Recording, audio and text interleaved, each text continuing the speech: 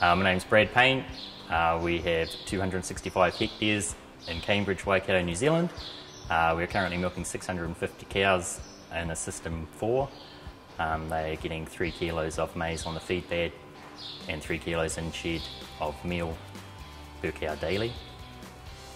We have a 60 bale external GEA rotary. We used to milk 500 cows through a 40 side herringbone with three people milking in the peak of mating. Uh, we moved to the 60 bale rotary with all the bells and whistles and only need one person milking because all the technology does the work for us. The challenges we faced was for heat detection I had to be there all the time, um, touching up tail paint, making sure your right cows were chosen to be inseminated. Um, the CowScout system has allowed me to not be there all the time. I can just turn up, cows have been already automatically drafted and they can be inseminated.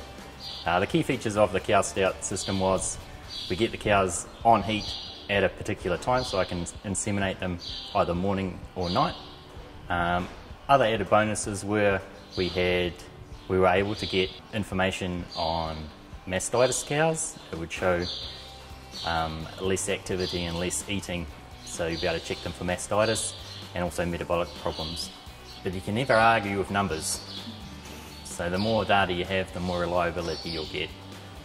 So data is also a good thing. Yeah. Uh, our future goals are to have 900 cows on the 265 hectares um, with a nine week calving spread um, and game for 4% empties.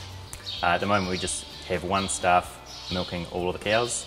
Um, if we didn't have the CowScout collars, we would definitely need two for the extra heat, de heat detection. Uh, this is definitely a future-proof solution. Um, less people in the shed don't have to worry about the human error factor in drafting out cows. Uh, we've been using GEA products for the last 20 years and have had great service and great reliability with the product.